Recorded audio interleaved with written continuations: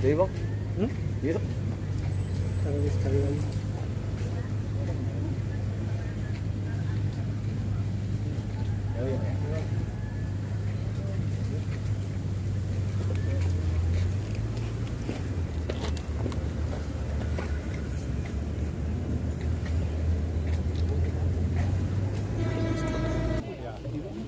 Terima kasih banyak Pak.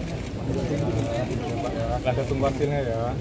Kasih banyak. Terima kasih Pak. Hari ini kita sudah melaksanakan otopsi, sebagai rekan-rekan ketahui, pelaksanaan otopsi sudah selesai dilaksanakan yang dilakukan oleh tim dokter dari Rumah Sakit Polri Kramat Jati. Nah, untuk hasilnya, informasi dari tim dokter paling lama dua minggu, ya, paling lama dua minggu hasil akan tulis akan diberikan dari Rumah Sakit Kramat Jati kepada penyidik dari Polres Jakarta Selatan. Jadi kita sama-sama menunggu untuk hasilnya, untuk perkembangan lebih lanjut, nanti akan kita informasikan lagi. Tadi proses berapa lama bang?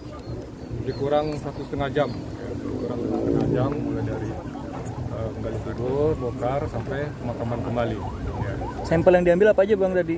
Uh, kalau untuk ranas itu mungkin nanti tim dokter ya tim dokter yang lebih ahli uh, apa saja yang diambil uh, nanti perkembangannya nanti akan disampaikan oleh lebih berwenang lagi tim dokter ya, dari Kramat Jati ya. Jangan lupa subscribe ya.